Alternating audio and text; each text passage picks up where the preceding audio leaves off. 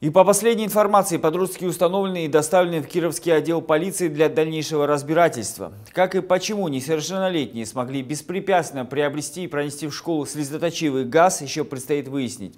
В отношении родителей собран административный материал.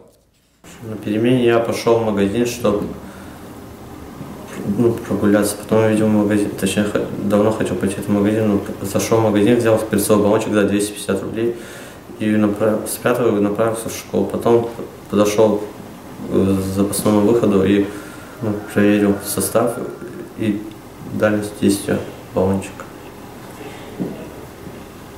Потом подошел одноклассник и попросил баллоньяма, дал, передвигаясь по коридору, он использовал и струя попала мне в лицо. Я пошел отмываться от него и когда уже вернулся, всех эвакуировали.